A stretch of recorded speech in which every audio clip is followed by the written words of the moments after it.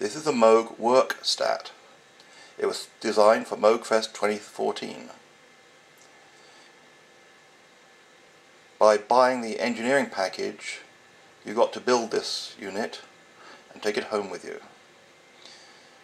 Also had instruction about how to use it and patch it.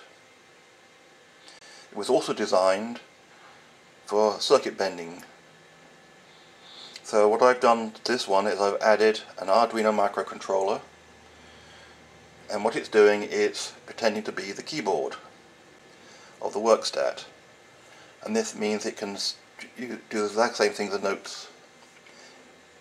It can generate the key presses effectively.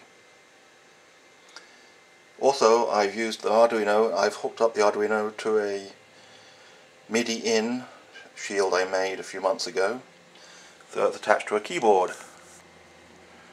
So surprising, not surprisingly, I can play the Werkstatt.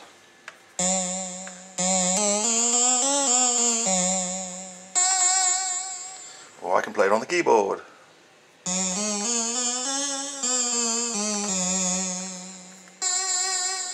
Now the hardware in the Werkstatt uses a 4x4 matrix for the switch selection. though there are 16 combinations. The Werkstatt itself only has 13 switches.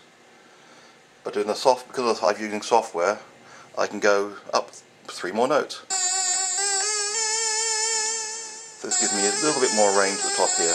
So I use the extra, extra three notes to my advantage.